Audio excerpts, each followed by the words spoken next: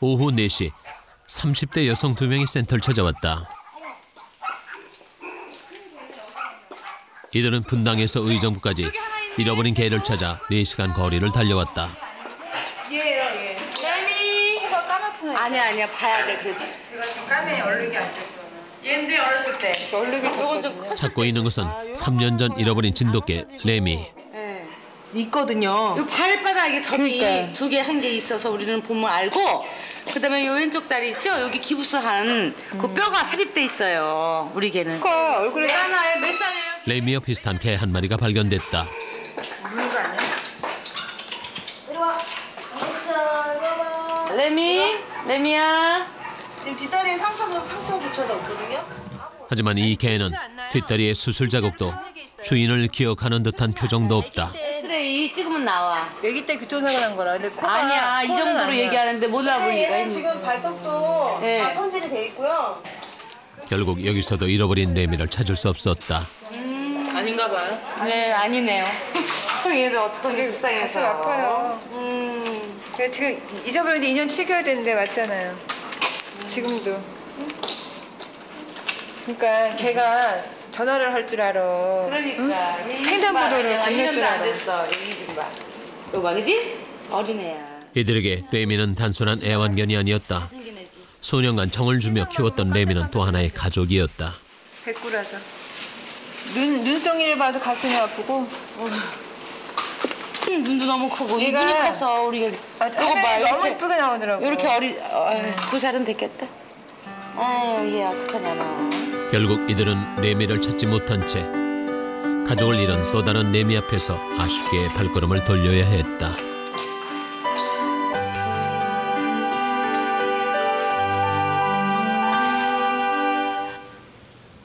최근 들어 이렇게 버려지는 동물들이 급증하고 있다. 한 해 버려지는 동물의 수는 3만 5천여 마리, 하루 평균 100마리의 동물이 버림을 받고 있는 것이다. 그리고 사람이 무책임하게 버린 동물들이 시내와 거리를 떠돌게 되면서 그 피해가 또다시 사람들에게 돌아오고 있는 것이다.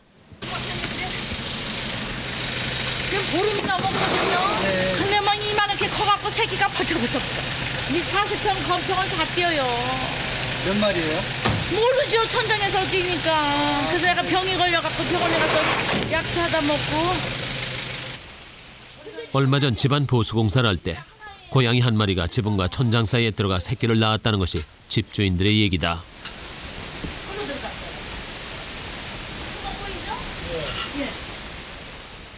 천장 합판 밑으론 고양이가 겨우 드나들 만한 틈이 있었다. 지금 안에 저희가 천장 안으로 들어갈 수 없는 상황이니까 지금은 지붕을 뚫고 들어갈 수도 없고 덫을 놔서 잡을 수도 없는 상황이다. 천장을 구멍을 뚫르고 합판을 뚫르고. 저희 같은 경우는 덫을 설치해서 잡으려고 했는데 엄면을 덫을 설치해서 엄면을 잡아버리면 새끼가 안에서 죽잖아요 어미는 지금 여기 나오.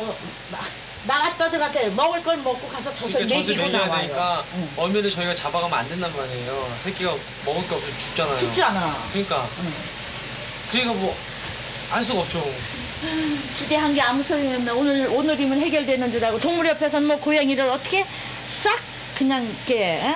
임시로 뭐. 결국 고양이는 일단 놔두고 가기로 했다. 이두 식구가 살거든 이 큰 집에 그러는데 너무 호강을 하니까 저 고양이가 같이 살자고 저러네. 사람에게 피해를 준다고 무조건 동물들을 데려갈 수는 없다. 하지만 아무 도움도 주지 못하고 돌아서는 마음도 무겁긴 마찬가지다. 불러오기만 하면 나쁘게 다리만 뿌려줘도 사는데. 응? 또. 저기 하면은 전화를 한번 다시 한번 주셔보세요 그때는 또 다른 뭐 방법이 생기십니다 좀 연구 좀 해보세요. 예. 죄송스럽죠. 뭐 그렇게 저렇게 기대하고 계셨다는데 저희가 할 수 있는 게 또 한정되어 있다 보니까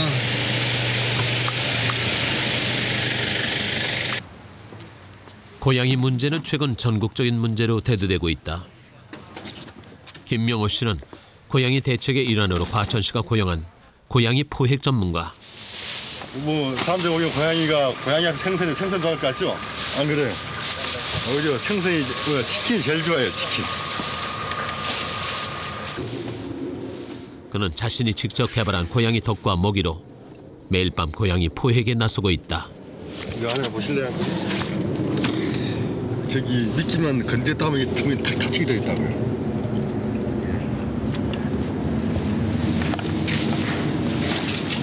이제 봄 가을에 주로 이제 그 임신을 하고 그런 시기가 되면은 그 주택가에서 서로 자기 짝짓기를 하기 위해서 뭐 이렇게 막 서로 이제 소리 소리 내면서 막 우르르 몰려다니기도 하고 그 뭐 주택가에서 그런 소음을 많이 내니까 뭐 주민들이 그 소리를 아주 제일 싫어하는 것 같더라고요. 고양이가 가장 많이 활동하는 시간은 밤 1시에서 4시 사이다. 바로 이 시간이 김명호 씨의 근무 시간이기도 하다. 현재 우리나라 고양이 숫자는 약 100만 마리, 과천시의 고양이만 3만 5천 마리가 넘는다. 요 뒤가 바로 가락산입니다. 그러다 보니까 고양이들이 밤에 되면 이 민가로 많이 내려옵니다. 가락산에 먹을 게 없으니까 이런 고양이들이 먹을 것을 찾아 떠돌며 밤마다 동네 쓰레기 봉투를 뒤지고 다니는 것이다. 원래 고양이가 차와 담벼락 사이 이렇게 이동을 하거든요. 그리고 차 밑으로 이동을 하고 그러니까 차와 담벼락 사이에 놓으면 거기 잡히죠. 임신한 고양이 한 마리가 나타났다. 김명호 씨는 고양이가 다니는 길 근처에 덫을 갖다 놓은 후 길바닥에 뭔가를 뿌린 것이다. 잠시 후 고양이가 뿌린 것을 먹기 시작했다. 밑밥입니다. 밑밥이요? 예, 거기에 밑밥이 있음으로써 고양이를 바로 그 자리에서 포획할 수 있는 있습니다. 이게 그걸로 유인하는 거죠. 이제 덫까지의 유인 작전은 일단 성공했다. 하지만 덫 앞에 오자 고양이는 상당한 조심성을 보이기 시작한다. 굉장히 조심성이 많아요. 저, 저 보- 자기 보시, 보호 본능에 그럴 경우는 좀 신중해지는데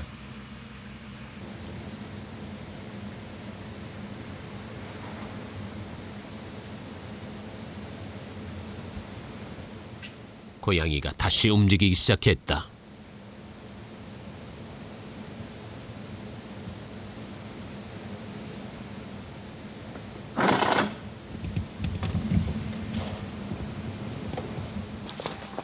결국 고양이는 먹이만 빼먹고 달아나 버렸다.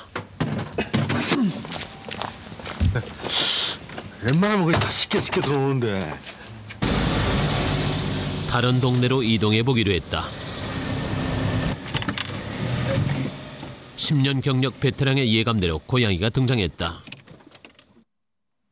다시 덫을 갖다 놓고 고양이 포획 작전에 들어갔다.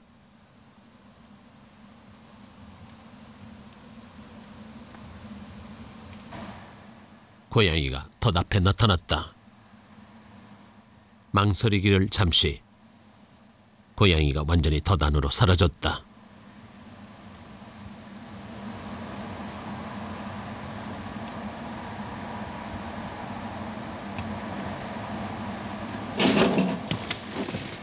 고양이가 잡히면 그 자리에서 사진을 찍는다.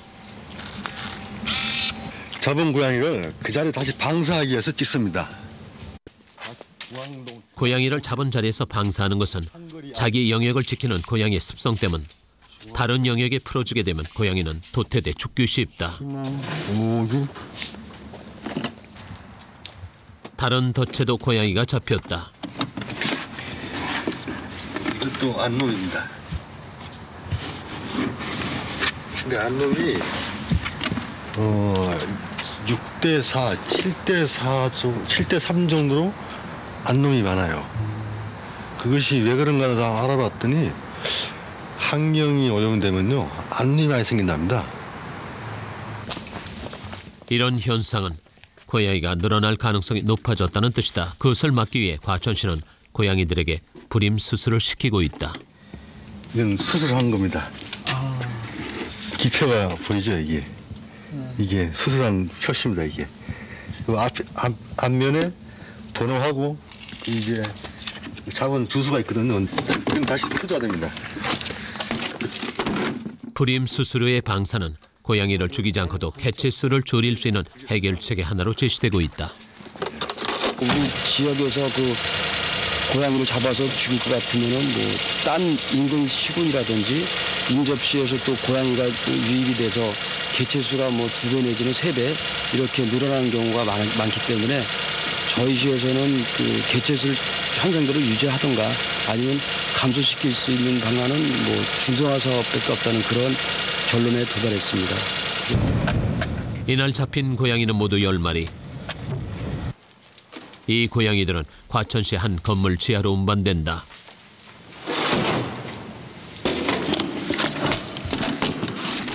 이곳은 동물병원 건물의 지하.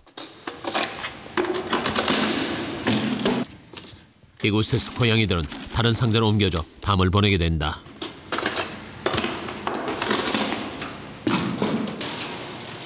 아침이 되자 동물병원 간호사가 내려와 고양이들을 병원으로 데려갔다.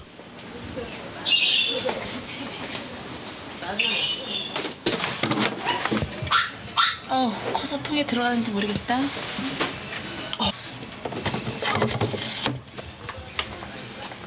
간호사가 고양이에게 불임 수술을 위한 마취 주사를 놨다. 동물 애호가들 사이에선 불임 수술에 대한 찬반 양론이 있는 것이 사실이다. 하지만 불임 수술은 현 상황에서 고양이와 인간이 공존하기 위한 불가피한 선택의 하나이기도 하다. 이게 419번째로 수술하는 고양이. 그러니까 수술한 고양이 이게 뒤에 달려 있어요. 그래서 먼저 예방 주사는 맞긴 맞았는데.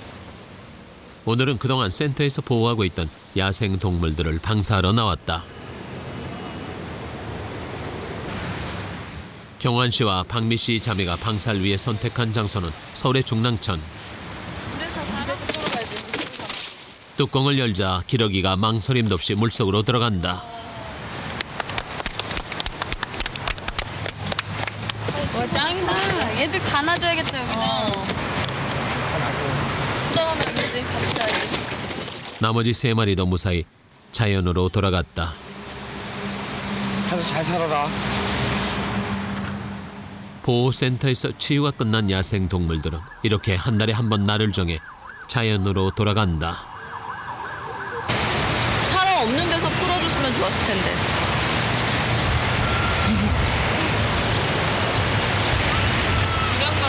우리 공존할 수 있는 맞아요. 기러기들은 이곳 중랑천 근처의 물과 하늘을 날아다니며 사람들의 친구가 돼줄 것이다.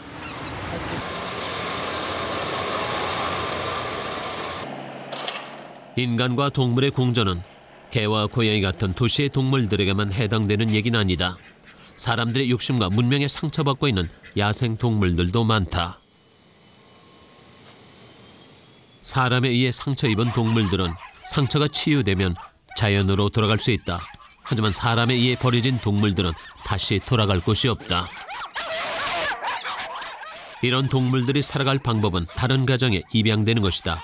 오늘 센터에는 입양을 위해 한 모녀가 찾아왔다. 한 마리 데려가. 한 마리.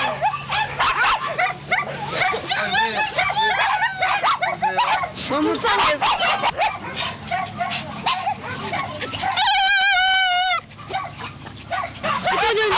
서 15년 동안 키우시다가 강아지가 얼마 전에 죽었대요.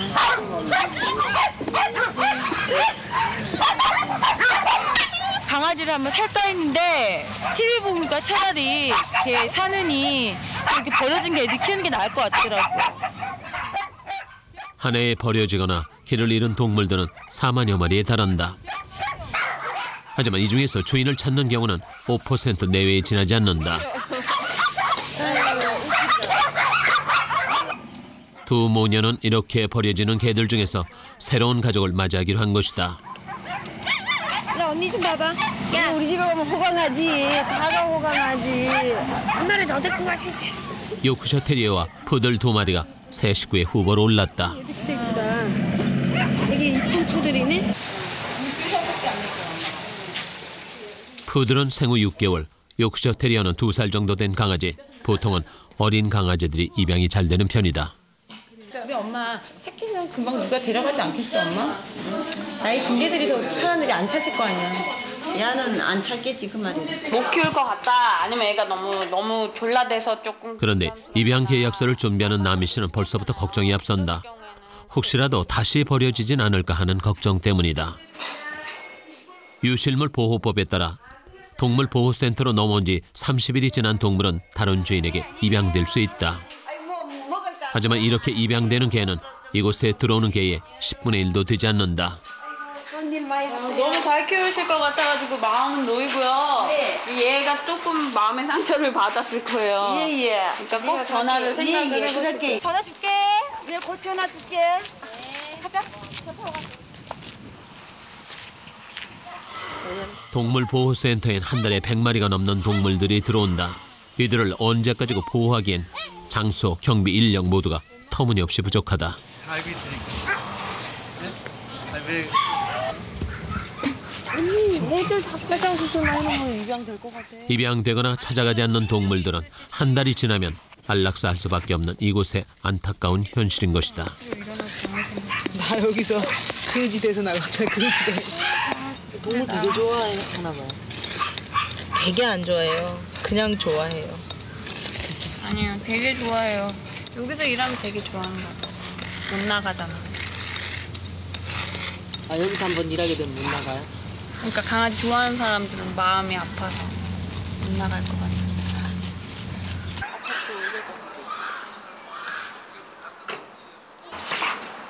박미 씨 자매는 이런 현실이 안타까워서 센터의 개들을 입양하기 시작했다.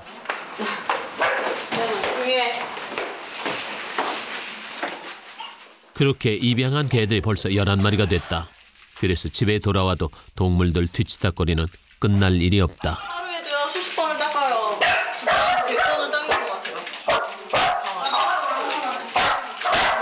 침대에다 하도 오줌을 많이 싸가지고 침대 드러내고 책상 드러내고 벽에 다 계란판 붙인 흔적이거든요.